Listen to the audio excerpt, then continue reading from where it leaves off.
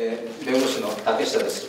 あのこんなに多くお集まりいただいたのに残念な結果しかご報告できなくて大変申し訳なく思います。本日3時に最高裁判所第二小法廷で、えー、辺野古の、えー、事件について判決の言い渡しがあり上告を棄却するという判決でございました。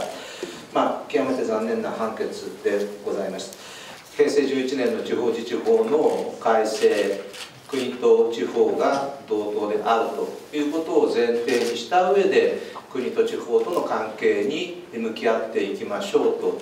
いう地方自治法の趣旨に、まあ、全く無理解であると言いますか判決の中で地方自治法の話がほとんど出てこない。むしろ出てくるのはあの是正の指示という国土交通大臣が尾長知事に対して行ったあ是正の指示という言葉を使う時に地方自治法が出てくるだけと。あの処分には、まあ、違法であるのか適法であるのかという問題があってでさらに適法の中にもまあ正当であるのか不当であるのか。という問題があって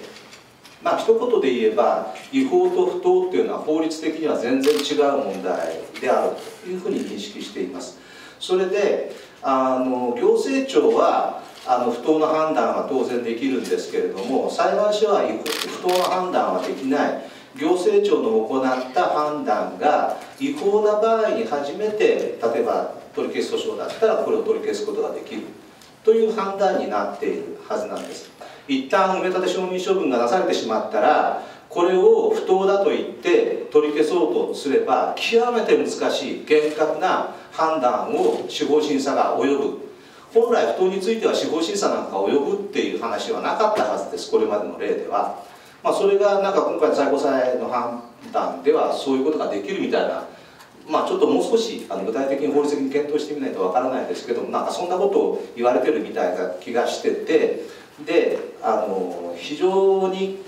厳しいあのハードを乗り越えていかないと取り消せない。要するに、えー、本来行政庁っていうのは自分の行った処分が誤っていたりこれはちょっと間違っていたな不当だったなというふうに思っていたら取り消せるのが原則なはずなのにそれができなくなってしまうような理屈が立てられてしまっているということです。ここが一つ大きな問題ではないかと思ってます。